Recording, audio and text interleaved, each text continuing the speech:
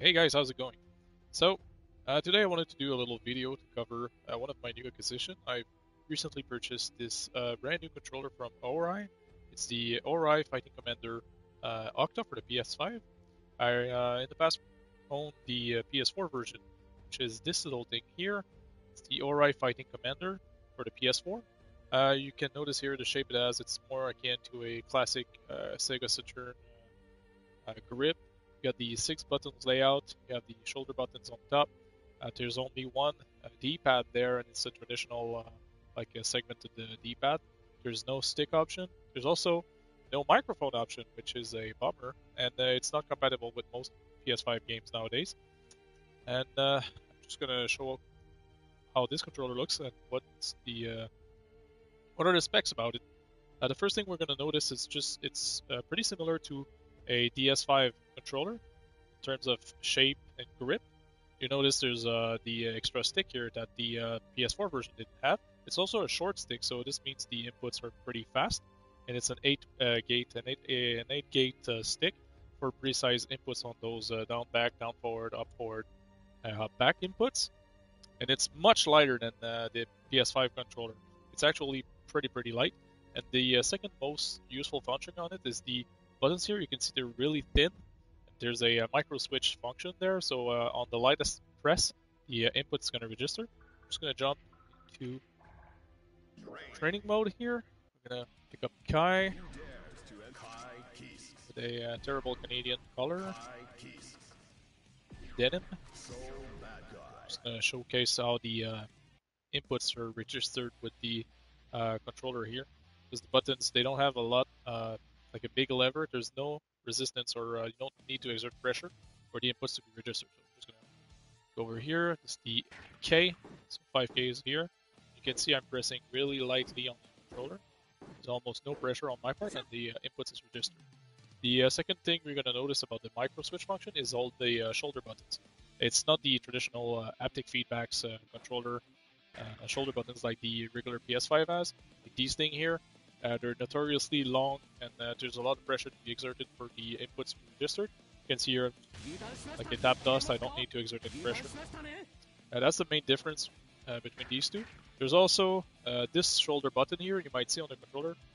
Uh, it's not really clear. It says L3 and R3. this is great because the previous version, the PS4 one, didn't have any L3 or R3s, and most fighting games use these buttons for recording functions like this thing here.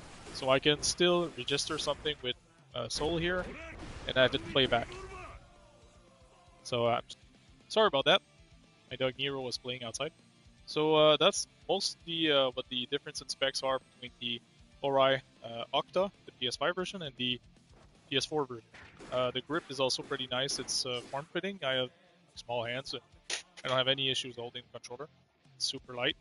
The inputs are registered fast, Another thing to keep in mind is the uh, the D-pad here. You can see it's a different function. It's like the uh, you got the old circle here. So the uh, up forward, up down, uh, down forward, down back, up back inputs are pretty clean. There's also a companion uh, software that you can use on the uh, on the laptop or a PC. If you plug in the controller with using a USB stick or USB USB cable, you can adjust the sensitivity of the the inputs there. So you can put the inputs to be as tight and precise as you'd like, or be a little bit more lenient and uh, enable some sloppy play. So that's pretty much all there's to know about the controller. It's a uh, it's the same price as a full price game. It's sixty dollars or seventy nine ninety nine if you're uh, living here in Canada like I am. So that's all I wanted to talk about the specs. I've been playing with this controller for about a day or two now. Uh, I haven't played Guilty Gear in a while. I, last time I played was like in March. I played earlier today I'm trying to record a stream that a stream that didn't work, so I'm just gonna jump back in online.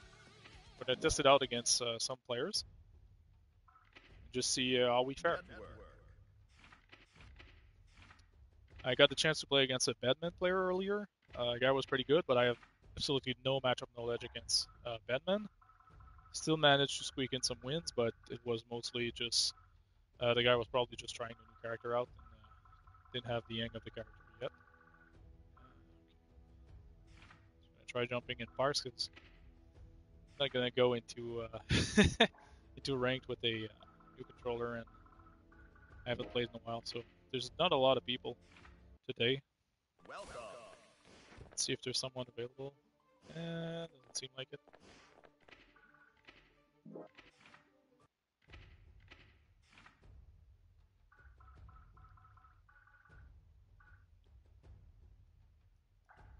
I don't want to do that, but might have to go to East Coast, West Coast. Okay. There's quite a few people on the West Coast that might be available. It's just this guy here called Mix playing Bedman, of course. Everyone's playing Bedman. We're gonna get some matchup knowledge and see how I fare with uh, the new controller, the Hori Fighting Commander Octa. If the game lets us play, because uh, yeah, the netcode is still uh, going great.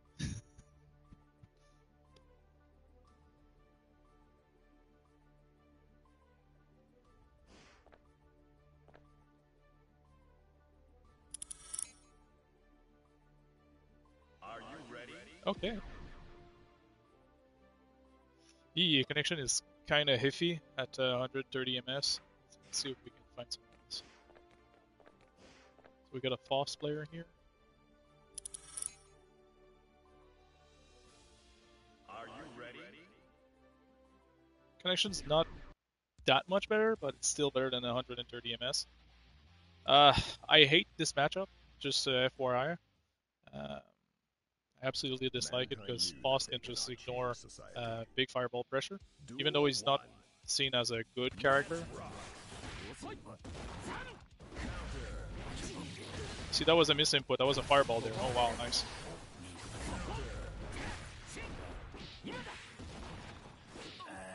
I was expecting a wake up grab. Okay, we got a burst. That was nice straight. No way. Oh, come on.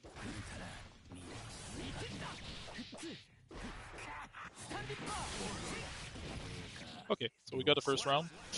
Wasn't a great performance on my end. Uh, I dropped pretty much everything.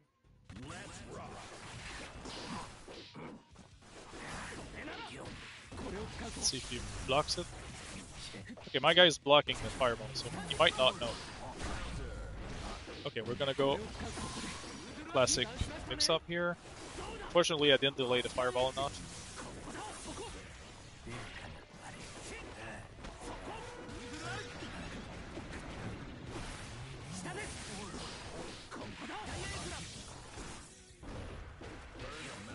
We're gonna go with a fuzzy mix. Oh, no need. Okay, let's go for the fuzzy.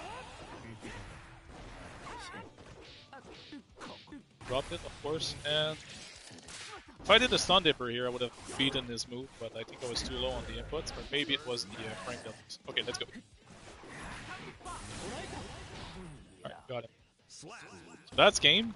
Um, don't know how much the uh, frame delays are affecting my gameplay, but uh, was pretty sloppy on the inputs here. Drop the one mix-up I got. Let's go with a 2S. 2S, he's gonna burst. Oh, burst! Okay, that's a burst. Fireball.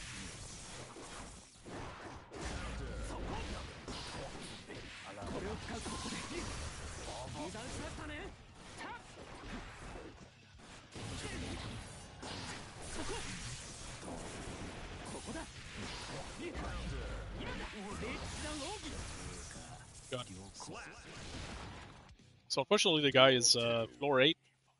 It's kind of showing, not uh, giving me a whole lot of challenge. It's normally a matchup I don't have great results. Oh, that was bad. Let's go with the mix-up. Got him. And it's gonna be game soon. Ooh, that was bad. Was fishing for the uh, gold burst there. Alright, so.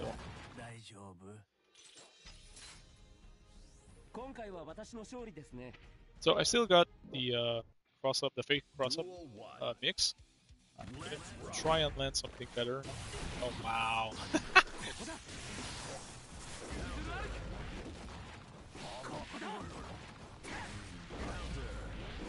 First.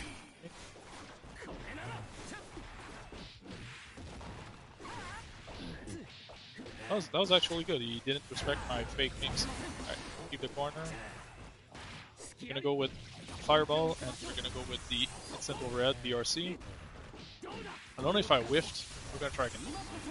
Okay, he, he blocks. He blocked it. The first one, I think he crouched underneath it, like low profile move, which I've never seen before.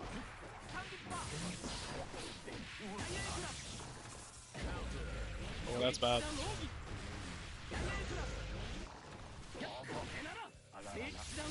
Okay. I'm gonna go with a stun dipper and uh, red RC upwards. I think that's game. Yep.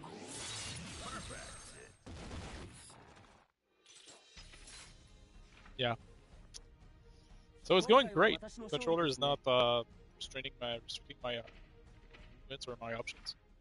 Uh, the guy